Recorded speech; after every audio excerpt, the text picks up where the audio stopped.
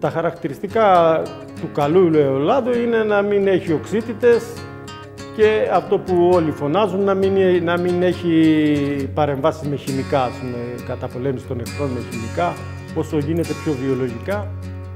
Εγώ όσο μπορώ προσπαθώ να είναι βιολογικά όσον αφορά δεν ψεκάζω δέντρα με δηλητήρια και τέτοια ας πούμε εκτός από το λίπασμα που βάζω κάτω στα δέντρα διότι τα επικλινή εδάφη είναι και φτωχά εδάφη και πρέπει να τα ενισχύεις. Δεν, δεν είναι δυνατόν ας πούμε, να έχεις απόδοση αν δεν τα ενισχύσεις κάπως.